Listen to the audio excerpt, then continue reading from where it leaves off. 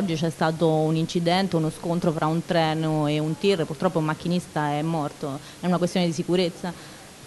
In Italia sicuramente bisogna stare molto attenti al tema della sicurezza, vale sulla sicurezza stradale, sono migliaia di morti ogni anno, vale per quella ferroviaria. Ci sono stati alcuni incidenti anche molto gravi nel passato, si deve fare di più sul tema della sicurezza come investimenti tecnologici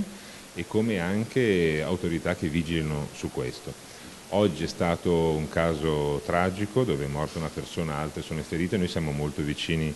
alla, a quella persona e ai suoi familiari e ai familiari delle altre persone che sono state coinvolte nell'incidente. Oggi è stato un po' un errore, nel senso che sembra di capire che questo camion è entrato dentro al passaggio a livello quando arrivava il treno, per cui non ci sono sicuramente questioni relative alle ferrovie. Magari quando si ragiona anche di strada